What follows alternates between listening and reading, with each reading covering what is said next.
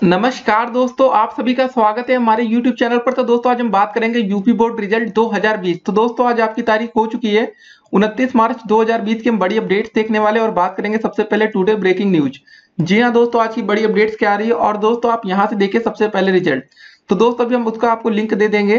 तो आपका दोस्तों, यूपी बोर्ड क्लास टेंथ का रिज़ल्ट दोस्तों और बारहवीं का रिज़ल्ट जी हाँ दोस्तों, दसवीं और बारहवीं का रिज़ल्ट कब तक जारी होगा, सब कुछ हम देखेंगे इस वीडियो के दौरान। और दोस्तों, ये भी डिस्कस करेंगे कि पिछले वर्ष का रिज़ल्ट कैसा रहा। जी हाँ दोस्तों 2020 का रिज़ल्ट आप वेट कर रहे हैं, कब तक आएगा? और लेकिन दोस्तों, इस वीडियो में हम देखेंगे 2019 में आपका रिज़ल्ट कैसा आया था। उसके बाद दोस्तों, हम ये भी डिस्कस करेंगे। इस समय दोस्तों, देखिए, सबसे बड़ी अपडेट ये आ रही है आपकी कि कोविड नाइन्टीन को लेकर। जी हाँ दोस्तों, कोरोना वायरस एक मार्च के बाद यूपी में बाहर से आए हर नागरिक की होगी जाँच। जरा भी शक हो तो करे क्वारंटाइन ऐसा दोस्तों, अभी सीएम योगी का एक बड़ा फैसला आया। है जी हाँ दोस्तों, हमारे मुख्यमंत्री जी का। तो चलिए दोस्तों एक एक करके सारी अपडेट्स को हम देखते हैं। सबसे पहले दोस्तों देखिए यूपी बोर्ड दसवीं या हाई स्कूल और यूपी बोर्ड बारहवीं इंटरमीडिएट के छात्रों को अपने रिज़ल्ट का इंतज़ार है। दोनों कक्षाओं के पेपर मार्च के पहले सप्ताह तक खत्म हो गए थे। मूल्यांकन का काम चल रहा है, हालाँकि कोरोना वायरस संक्रमण के फैलने और लॉकडाउन के चलते इसमें बाधा आई है। पिछले साल यूपी बोर्ड दसवीं और बारहवीं का रिज़ल्ट अप्रैल के अंतिम सप्ताह में जारी कर दिया गया था। इस बार दसवीं और बारहवीं बोर्ड की परीक्षा में पंजीकृत छप्पन से ज़्यादा छात्र छात्राएँ पंजीकृत थे। मतलब छप्पन लाख से ज़्यादा दोस्तों चार दशमलव पाँच लाख से ज़्यादा छात्र छात्राओं ने परीक्षा छोड़ भी दी थी। सोचिए, साढ़े चार लाख से अधिक छात्रों ने। और करीब तीन दशमलव पाँच करोड़ कॉपियाँ जाँच जानी जी हाँ दोस्तों, साढ़े तीन करोड़ से अधिक कॉपियाँ हैं। इस बार यूपी बोर्ड की कॉपियाँ पहली बार सीसीटीवी और वॉइस रिकॉर्डर की निगरानी में जांची जा रही हैं। तो दोस्तों, ये है पूरा मामला। अब दोस्तों, जरा हम आपको एक बात और बताते हैं, पिछले साल का रिज़ल्ट कैसा था? देख लीजिए, पिछले वर्ष यूपी बोर्ड दसवीं हाई स्कूल में दोस्तों, अस्सी दशमलव ज़ीरो सात प्रतिशत विद्यार्थी और यूपी बोर्ड बारहवीं या इंटर में सत्तर दशमलव ज़ीरो छह प्रतिशत विद्यार्थी पास हुए थे। हाई स्कूल व इंटर दोनों में ही लड़कियों का प्रदर्शन लड़कों से बेहतर रहा। यूपी बोर्ड हाई स्कूल में तिरासी दशमलव नौ आठ प्रतिशत लड़कियाँ और छिहत्तर दशमलव छह छह प्रतिशत लड़के पास हुए थे, जबकि दोस्तों इंटर में आपका seventy six point four six लड़कियाँ पास हुई और sixty four point four zero लड़के पास हुए थे। हाई स्कूल में बागपत बड़ौर के Shri Ram S M inter college की छात्रा तनु तोमर ने 500 में से दो अंक हासिल कर टॉप किया था, जबकि इंटर में कानपुर के ओमकारेश्वर सरस्वती विद्या मंदिर निकेतन इंटर कॉलेज के छात्र गौतम रघुवंशी ने 600 में से पाँच अंक हासिल करके टॉप किया था। तो दोस्तों, ये थे पिछले साल के टॉपर्स। अब दोस्तों, चलिए कुछ आपके और सवाल हैं कि जाने कब तक आएगा यूपी बोर्ड का रिज़ल्ट। और दोस्तों, देखिए, कोरोना संक्रमण पर लॉकडाउन के कारण इस समय मूल्यांकन आपका रुक चुका है। जी हाँ दोस्तों, आपको पता है, पूरे देश में इसमें लॉकडाउन चल रहा है मतलब कुछ भी काम नहीं हो रहा है। तो आपके जो कॉपियाँ चेक हो रही थी, वो इस समय चेक भी नहीं हो पा रही है। यहाँ दी गई वेबसाइटों पर आप चेक कर पाएँगे सबसे पहले अपने रिज़ल्ट तो दोस्तों, उसका हम लिंक आपको भी कमेंट बॉक्स में नीचे दे दे रहे हैं। तो दोस्तों, जैसे ही आपका रिज़ल्ट आएगा, सबसे पहले आप उसको चेक कर सकते हैं। हो सकता है दोस्तों, इस वीडियो को आप बाद में देख रहे हो। और हो सकता है कि जब तक आप इस वीडियो को देख रहे हैं, तब तक आपका रिज़ल्ट आ चुका हो। तो कमेंट बॉक्स में दिए गए लिंक को ओपन आप करेंगे दोस्तों और उसके बाद उस लिंक को रिफ्रेश करते रहिएगा ताकि दोस्तों कभी आपका रिज़ल्ट आ जाए तो दोस्तों आपको मिल जाए। होता ना कि आप रिफ्रेश करना भूल जाते तो दोस्तों आपको पुरानी खबरें मिलती हैं। तो दोस्तों पूरी ये सब अपडेट्स है आपका इसमें फ़िलहाल आपकी कॉपियाँ चेक नहीं हो पा रही है। और देखिए कुछ और अपडेट्स हम आपको देते हैं कि यूपी बोर्ड की दोस्तों आपकी परीक्षा खत्म हो चुकी है, आपको ये सब बात पता है। देखिए, उत्तर प्रदेश मध्यम शिक्षा परिषद द्वारा मई के अंत तक घोषित किए जाएँगे। जी हाँ दोस्तों, इस बार जो आपका रिज़ल्ट है वो समय लग सकता है। देश में कोरोना वायरस के तेज़ी से बढ़ रहे मामले के मद्देनजर मंगलवार को देश भर में अगले 21 दिनों के लिए राष्ट्रीय बंद या लॉकडाउन का ऐलान कर दिया गया है। इसके चलते बोर्ड परीक्षाओं का मूल्यांकन भी रोक दिया गया है।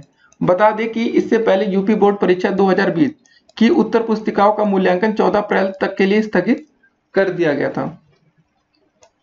इस बार राज्य के विभिन्न परीक्षा केंद्रों पर यूपी बोर्ड की कक्षा 10 और 12वीं कक्षा मतलब परीक्षा के लिए छप्पन लाख से अधिक छात्रों ने इस परीक्षा में हिस्सा लिया था। ऐसा अनुमान है कि दसवीं और बारहवीं कक्षा, ठीक है ना? बोर्ड, परीक्षा के लिए यूपी बोर्ड का परिणाम 2020 आधिकारिक वेबसाइट दोस्तों ये है, पर मई के अंत तक घोषित कर दिया जाएगा। बोर्ड के सूत्र भी इस बात की पुष्टि कर रहे हैं। लेकिन दोस्तों इस समय अभी देखिए थोड़ा बहुत लेट हो सकता है, क्योंकि आपको पता कोरोना वायरस चल रहा है। जब तक दोस्तों कोरोना वायरस का समापन नहीं हो जाता, तब तक आप मान के चलिए कि आपका रिज़ल्ट भी जारी नहीं हो पाएगा। तो दोस्तों, देखिए, आज सीएम योगी जी ने आपके लिए कौन सी नई बातें कही, उसको जरा देखते हैं। यूपी सीएम योगी आदित्यनाथ ने रविवार सुबह कोरोना से निपटने को लेकर अधिकारियों के साथ बैठक की। इस दौरान योगी ने एक मार्च के बाद यूपी में बाहर से आए हर नागरिक की निगरानी और हेल्थ जाँच करने के निर्देश दिए। योगी जी ने कहा कि जरा भी शक हो तो क्वारंटाइन करें। लोगों को चौदह दिन का हेल्थ प्रोटोकॉल का पालन कराया जाए। योगी जी ने कहा कि कोरोना के चलते जो दोस्त आपको उद्यम संस्थान बंद रहे, उन संस्थानों को उनके हर कर्मचारी को वेतन देना ही होगा। अधिकारी वेतन दिलाए, हर गरीब, दिहाड़ी, मजदूर को सरकार एक हज़ार रुपए देगी।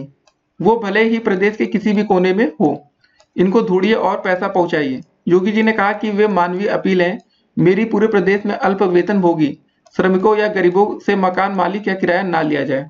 जी हाँ दोस्तों, इस समय फ़िलहाल आपसे पैसे ना लिया जाए तो बेहतर होगा। अगर आप लोग कहीं पर किराए के कमरे में रहते हैं, योगी जी ने कहा कि यूपी में जो भी आ गए हैं या पहले से रह रहे हैं, उनकी पूरी ज़िम्मेदारी हमारी सरकार की है मतलब उन्हें भोजन, शुद्ध पानी, हवा देंगे। उनके चलते बाकी लोगों के स्वास्थ्य का कोई खतरा भी नहीं पैदा होने देंगे। वो अपने राज्य में नहीं जाना चाहते तो कोई बात नहीं है, सबकी हिफाजत मेरी ज़िम्मेदारी है। जो बाहरी राज्यों के कामगार हैं, उनकी दैनिक जरूरतों और आर्थिक जरूरतों की चिंता करे अधिकारी ताकि वे अपने राज्यों के लिए पलायन ना करें। जो चुनौती हमारे राज्य पर आई है, पलायन के चलते हम नहीं चाहते कि बाकी राज्यों को सामने मतलब ये चुनौती आ जाए।